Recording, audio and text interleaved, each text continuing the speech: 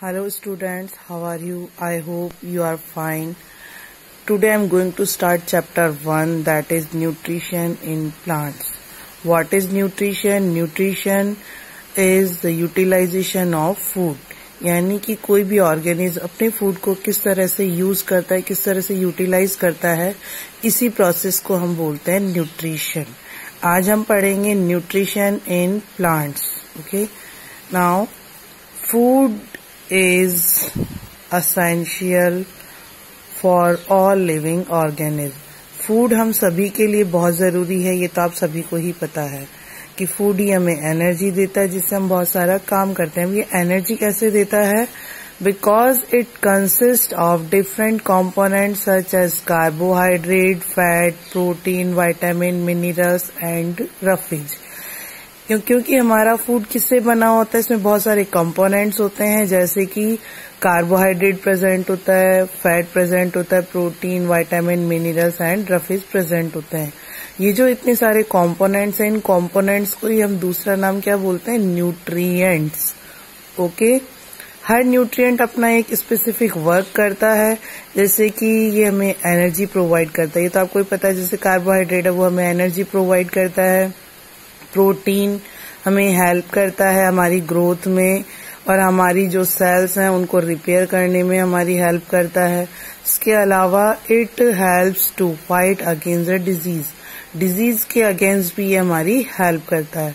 Now mode of nutrition in organism किसी भी organism या जीव में किस तरीके से न्यूट्रिशन होता है, इसके दो मोड हो सकते हैं, ठीक है? कौन कौन से फ़र्स्ट तो अपन पढ़ेंगे न्यूट्रिशन न्यूट्रिशन जैसे मैंने आपको बता दिया है कि हम फ़ूड को किस तरह से यूटिलाइज करते हैं. इसी को हम क्या बोलते हैं? न्यूट्रिशन बोलते हैं. ठीक है? तो they utilize the food for various purpose यानी कोई भी ऑर्गेनिज्म अपने फ़ूड को अलग अलग काम के लिए यूटिलाइज करता है. ठीक है? जैसे एनर्जी के लिए ग्रोथ के लिए रिप्रोडक्शन के लिए और भी बहुत सारे फ़ंक्शन को परफॉर्म करने के लिए. Nutrition is mainly of two type nutrition दो तरीके का हो सकता है autotrophic nutrition and heterotrophic nutrition. Autotrophic nutrition. Autotrophic nutrition क्या होता है? The mode of nutrition in which a living organism can make its food is called the autotrophic nutrition and the organism having this type of nutrition are called autotrophs यानी कि ये वो तरीका है जिसमें क्या करता है, कोई भी लिविंग बींग अपना खाना खुद बनाता है। उसको हम बोलते हैं ऑटोट्रॉपिक न्यूट्रिशन की और ऐसे ऑर्गेनिज्म को हम क्या बोलते हैं? ऑटोट्रॉप्स ठीक है?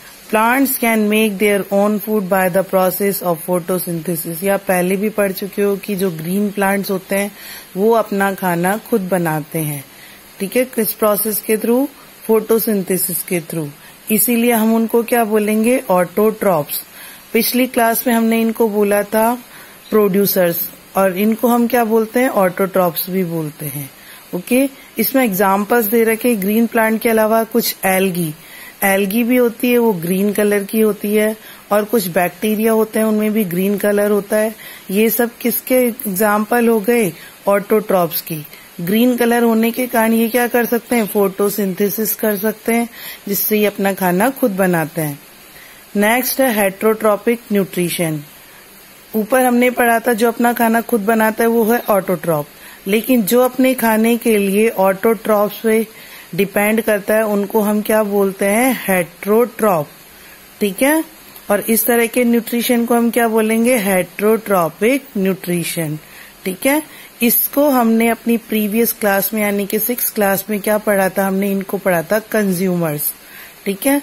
लेकिन प्लांट्स हैं तो प्लांट्स में हम इनको क्या बोलेंगे? हेट्रोट्रॉप बोलेंगे और इस तरह के न्यूट्रिशन को हम बोलेंगे हेट्रोट्रॉपिक न्यूट्रिशन हेट्रोट्रॉप्स अपना खाना खुद क्यों नहीं बनाते? क्योंकि उनके पास में क्लोरोफिल प्रेजेंट नहीं होता।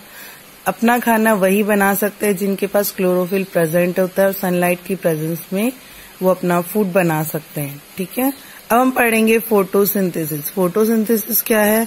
Photosynthesis is a process in which chlorophyll containing green plants in the presence of sunlight means ऐसे प्लांट जिनमें क्लोरोफिल प्रेजेंट होता है और सनलाइट की प्रेजेंस में, यानी कि सनलाइट ज़रूरी होती है uses carbon dioxide and water to synthesize their food carbon dioxide और वाटर को यूज़ करके वो क्या बनाते हैं? अपना खाना बनाते हैं। ठीक है? Most of the photosynthesis occur in the leaves ज़्यादातर फोटोसिंथेसिस लीव्स में ही होता है, क्योंकि लीव्स ही क्या होती है? ग्रीन कलर की होती है।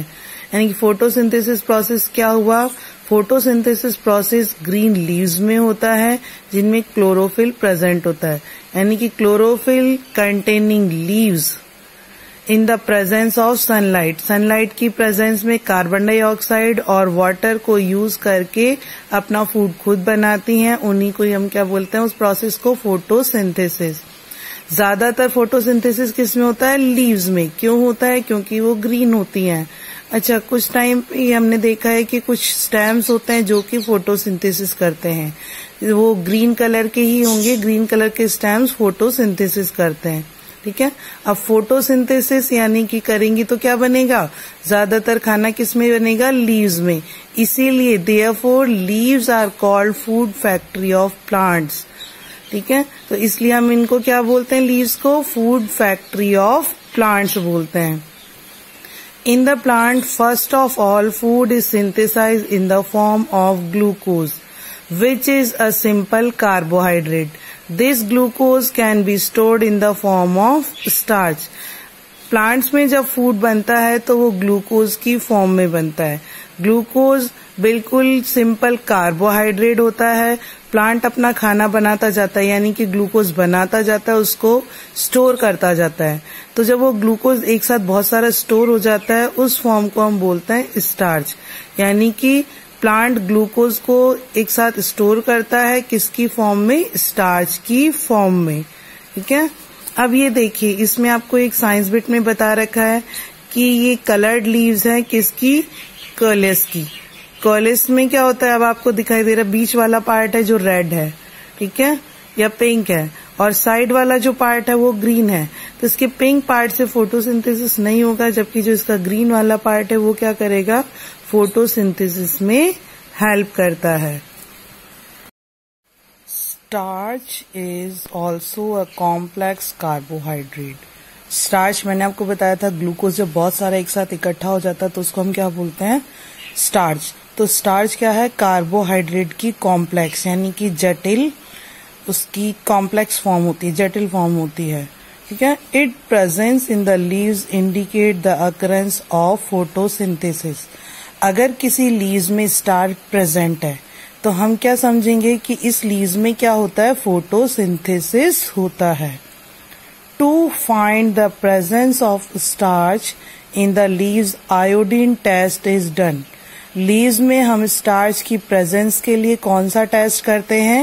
ये आपको याद रखना है आयोडीन टेस्ट करते हैं।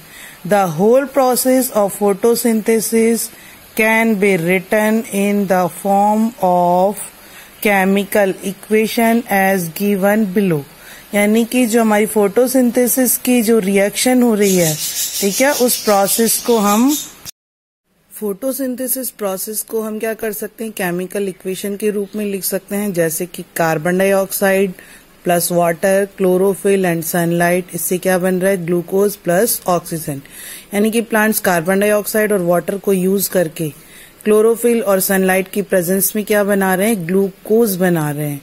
ठीक है? फिर यही ग्लूकोज क्या होता जा रहा है? मैंने कहा था इकट्ठा होता जाता है एक साथ, जिसको हम क्या बोलते हैं? स्टार्च बोलते हैं. और ग्लूकोज के बाद में और क्या देता है? प्लांट हमें ऑक्सीजन देता है। ठीक है? During the photosynthesis oxygen is also release ठीक है? जब फोटोसिंथेसिस होता है तो क्या रिलीज़ होती है? कौन सी गैस निकलती है? ऑक्सीजन आपने पहले पढ़ा है ना प्लांट्स कार्बन डाइऑक्साइड यूज़ करते हैं और कौन सी गैस देते हैं हमें? ऑक्सीजन यानी ऑक्सीजन गैस फोटोसिंथेसिस के प्रोसेस में निकलती है। This oxygen is utilized by the all living organisms during the process of respiration to get energy from the food. और इसी ऑक्सीजन को सारे लिविंग बींग यूज़ करते हैं during the process of respiration यानी जब रेस्पिरेशन करते हैं, आपको ही पता है। और रेस्पिरेशन के थ्रू हमें क्या मिलती है? फ़ूड से एनर्जी मिलती है। ठीक है? The condition necessary for the photosynthesis photosynthesis के लिए कौन कौन सी कंडीशन ज़रूरी है? That is the chlorophyll sunlight carbon dioxide and water हमने पढ़ा है फोटोसिंथेसिस तभी होगा जब ये चारों चीज़ें प्रेजेंट होगी। तो यानी कि ये कंडीशंस होनी ज़रूरी है। इस साइड में प्लांट में आपको दिखाया गया है कि किस तरह से फोटोसिंथेसिस का प्रोसेस होता है। ठीक है? देखिए, जिससे यह प्लांट यहाँ क्या लेगा? सॉइल से वाटर लेता है और एयर से क्या ले रहा है? कार्बन डाइऑक्साइड ठीक है? और इसको किसकी प्रेजेंस चाहिए? सनलाइट प्रेजेंट होनी ज़रूरी है। और क्लोरोफिल क्लोरोफिल क्या है? प्लांट्स की लीज में ये जो ग्रीन कलर आपको दिखाई दे रहा है, इसी को हम क्या बोलते हैं? क्लोरोफिल तो यानी कि प्लांट्स वाटर और कार्बन डाइऑक्साइड को यूज़ करके क्लोरोफिल और सनलाइट की प्रेजेंस में क्या बनाते हैं? ग्लूकोज इस प्रोसेस को हम क्या बोलते हैं? फोटोसिंथेसिस बोलते हैं। अब है क्लोरोफिल क्लोरोफिल मैंने आपको बता दिया. It is green coloured substance और द पिगमेंट पिगमेंट का मतलब ही कलर होता है. Present in the green part of the plants chlorophyll molecules are the principal site of light absorption during the photosynthesis chlorophyll किसको बोलते हैं? प्लांट्स के अंदर जो ग्रीन कलर होता है, उसी को हम क्लोरोफिल बोलते हैं. ठीक है? और क्लोरोफिल ही वही चीज़ है जो क्या करती है? सनलाइट को एब्जॉर्ब करने का काम करती है फोटोसिंथेसिस के टाइम पे। नेक्स्ट इज़ सनलाइट सनलाइट क्या करती है? Chlorophyll help the leaves point पढ़ा था हमने क्लोरोफिल अब है सनलाइट सनलाइट क्या होता है? सनलाइट किस काम में आती है? Chlorophyll have the leaves to capture the energy from sunlight chlorophyll किसमें हेल्प करता है? सनलाइट से एनर्जी को कैप्चर करने में, उसको पकड़ने में। This energy is utilize for the synthesis of food और यही एनर्जी क्या करती है? फ़ूड को बनाने में काम आती है। और ये फ़ूड किससे बनेगा? कार्बन डाइऑक्साइड एंड वाटर से बनता है। ठीक है? यानी कि फोटोसिंथेसिस की प्रोसेस के लिए क्या ज़रूरी है? सनलाइट भी ज़रूरी है। Plants can manufacture food only in the presence of sunlight because sun is the only and the ultimate source of energy plants अपना खाना ओनली सनलाइट की प्रेजेंस में ही बना सकते हैं और आपको पता है कि है ना प्लांट्स को एनर्जी कहाँ से मिलेगी? सोर्स ऑफ़ एनर्जी कहाँ से मिलेगी? सनलाइट से। ये आपको पता है ये क्या है? ये स्टोमेटाज हैं। ये हमने पहले भी पढ़ा है। देखिए, इसमें ये गार्ड सेल्स प्रेजेंट होती हैं। ये गार्ड सेल्स क्या करती हैं? गार्ड मतलब ध्यान रखती हैं। ठीक है? ये क्या करती हैं? गेट को ओपन करने का और बंद करने का, यानी कि स्टोमेटा के जो पोर्स होते हैं, उनको खोलने का और बंद करने का काम करती हैं। इस टाइम पे आपको पता है स्टोमेटा क्या है? ओपन है। ओपन है तो इसमें से क्या जाएगा? अंदर कार्बन डाइऑक्साइड सनलाइट की प्रेजेंस में ओके अब जब एक बार ये चली जाती है, फिर ये क्या करते हैं? ये बंद हो जाते हैं, ठीक है? तो यानी कि इस टाइम पे क्या है? जो गार्ड सेल हैं, इन्होंने स्पोर्ट्स को क्या कर दिया है? बंद कर दिया है ओके